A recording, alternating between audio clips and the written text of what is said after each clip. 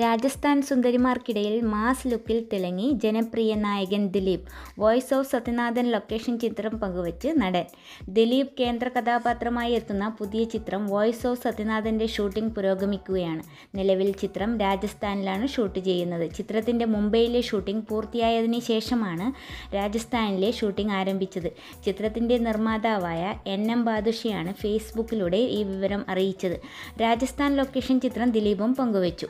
Punjabi house പാണ്ടിപ്പട Thenkasipattanam എന്നീ hit ചിത്രങ്ങൾക്ക് ശേഷം റാഫി ദിലീപ് കൂട്ടുകെട്ട് വീണ്ടും ഒന്നിക്കുന്നുവെന്നതും പ്രത്യേകതയാണ്. മലയാള സിനിമയിൽ ചിരിയുടെ മാലപ്പടക്കം തീർത്ത കൂട്ടുകെട്ട് വോയിസ് ഓഫ് സത്യനാഥനിൽ വീണ്ടും ഒരുമിക്കുമ്പോൾ വലിയ പ്രതീക്ഷയാണ് ആരാധകർക്കുള്ളത്. മുംബൈയിലെ ഷൂട്ടിങ്ങിന് ശേഷം ഇപ്പോൾ രാജസ്ഥാനിലാണ് സിനിമയുടെ ഷൂട്ടിംഗ് പുരോഗമിക്കുന്നത്.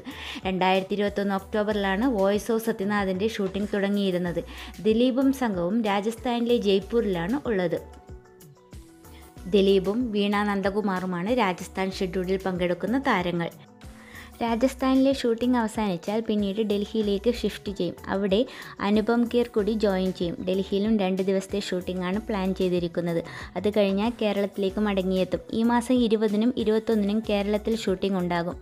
ജോണി ആന്റണി ഉൾപ്പെടുന്ന ഒരു ഷെഡ്യൂൾ കൂടിയാണ് പൂർത്തിയാകാനുള്ളത്. അത് ഒക്ടോബർ അഞ്ചിന് ആരംഭിക്കും. തുടർന്ന് നാല് ദിവസത്തെ ഷെഡ്യൂളോടെ Voice of Sathyanathan pack up പറയും.